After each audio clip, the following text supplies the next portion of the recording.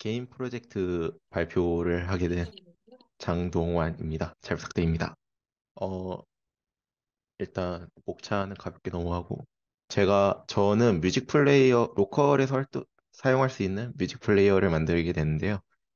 어, music player가 갖고 있는 뭐 오디오 기본적인 조작 이런 거랑 그 나만의 playlist를 만들고 사용할 수 있는 그런 기능 그리고 취침 타이머 이런 기능들을 제공하는 local music player를 만들게 되었습니다. 어, 사용 기술로는 뭐 Dart Flutter랑 주요 라이브러리로 이 오디오 조작에 관련된 라이브러리들, just audio, 아, audio service 그런 것들을 사용하게 되었고요. 어, 권한 얻기 위해서 permission handler 사용했고 그 상태 관리 라이브러리들과 local DB를 활용한 Hive 이런 라이브러리들을 사용하게 되었습니다. 어, 기본적인 user flow인데요. 이게 메인 화면인데 뭐 이거 playlist로 이동하게 되는 화면 흐름 그리고 메인 화면에서 옵션을 통해 playlist로 이동해서 조작하는 기능들이랑 이 타이머까지 대충 이런 흐름대로 흘러가는 식으로 만들었습니다. 어, 주요 코드로는 제가 그 오준석 선생님한테 배운 대로 clean architecture를 구성을 해서 이 프로젝트를 만들게 되었는데요. 그 background 기능을 위해서 이 handler라는 게 하나 끼게 되는데 이거를 서비스라는 폴더를 또 하나 만들어서 둔 상태로 이렇게 작업을 하게 되었습니다. 그리고 권한을 얻는데 이게 오디오 관련 권한이 안드로이드 12 이하에서 받는 거랑 13 이상에서 받는 게 다르더라고요. 그래서 그거에 따른 이게 안드로이드 버전을 얻어서 그거에 따르게 다르게 얻어가는 방식으로 코드를 구성했고요.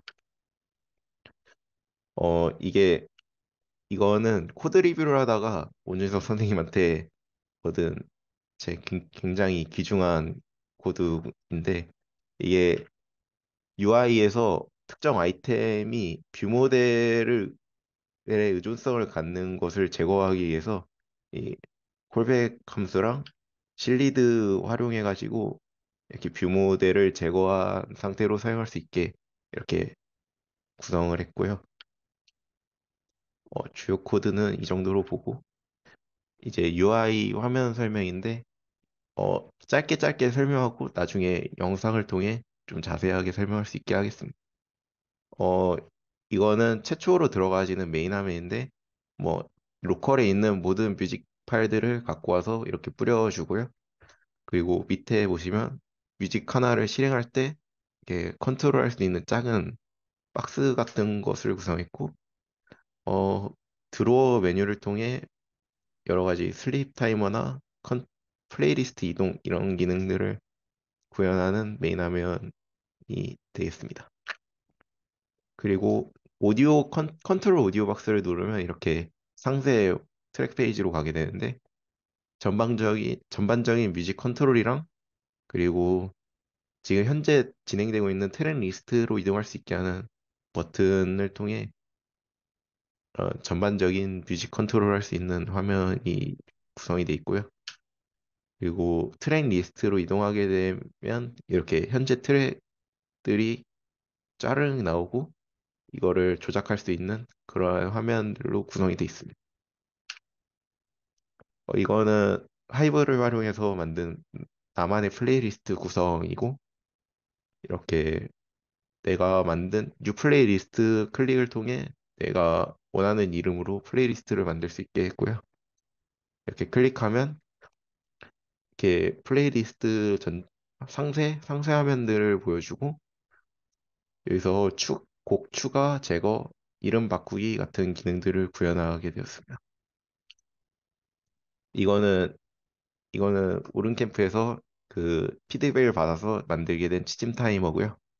이렇게 시간이랑 분을 정해서 set을 쓸 경우 이렇게 5분 뒤에 화면이 어 playlist가 꺼지는 그런 간단한 기능을 구현을 했습니다. 이거는 백그라운드 실행인데요. 이거는 어, 라이브러리를 사용해서 뭐 크게 제가 엄청나게 공들여서 만든 건 아니지만 그래도 되게 복잡하더라고요. 제가 앱 개발은 처음인 입장에서 그래서 상당히 애를 먹은 기능이기도 하고 좀 이쁘게 잘 나온 기능이기도 합니다. 어, 시연 동영상으로 이동하겠습니다.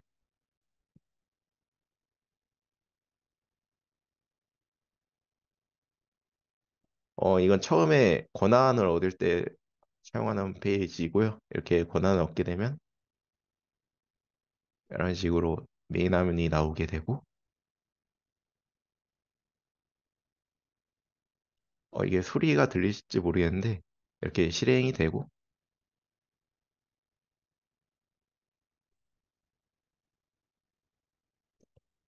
이런 식으로 조작이 가능한 형태로 바뀌었고요.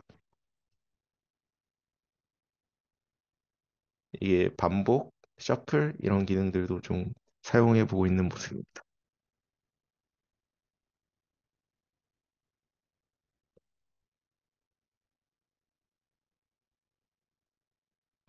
이렇게 곡마다 좀 옵션 같은 게 있어서 지금 다음 트랙 리스트에 추가 이러한 기능들도 좀 구현을 했고요.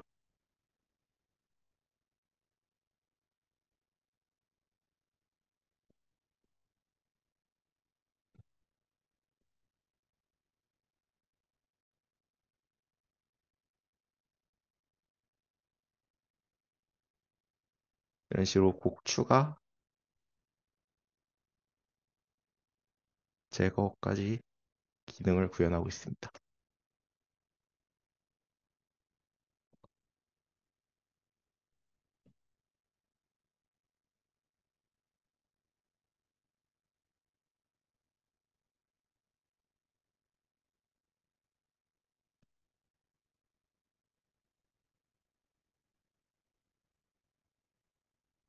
어, 지금 슬립 타이머 기능인데 이거는 설정한 뒤 5분을 기다려야 돼가지고 화면을 빠르게 넘겨서 5분 뒤에 화면을 보여드리겠습니다. 이렇게 셋을 하고 어, 한 이쯤이었는데 이렇게 진행을 하다가 5분이 지나면 딱 거기 멈추는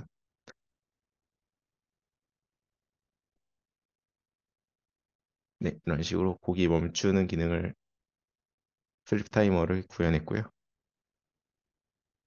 이렇게 백그라운드도 조작을 할 수 있게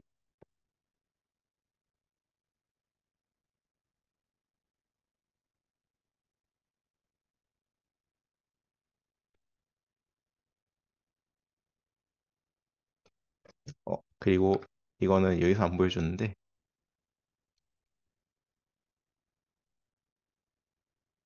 이게 지금 잠금 화면이거든요. 잠금 화면을 보여주는 그런 사진입니다.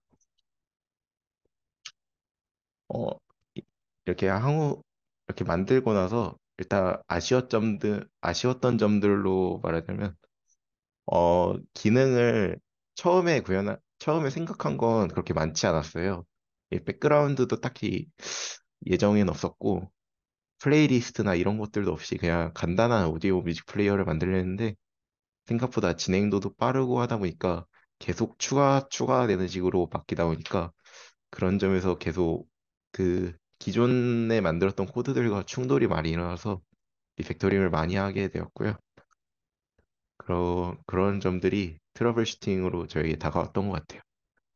그리고 어, 향후 추가할 점들로 말하자면 일단 지금 정렬 같은 기능들이나 그런 사소한 기능들도 좀 나중에 추가하려면 추가할 수 있으니까 추가해서 좀 더 다양한 기능들을 보여줄 수 있는 뮤직 플레이어로 만들 예정이고요. 그리고 계속 refactoring 중이긴 한데 이 코드가 아직은 제 마음에 그렇게 마음에 들진 않는 코드여가지고 코드 정리도 계속 이쁘게 만들어 나갈 예정입니다. 감사합니다.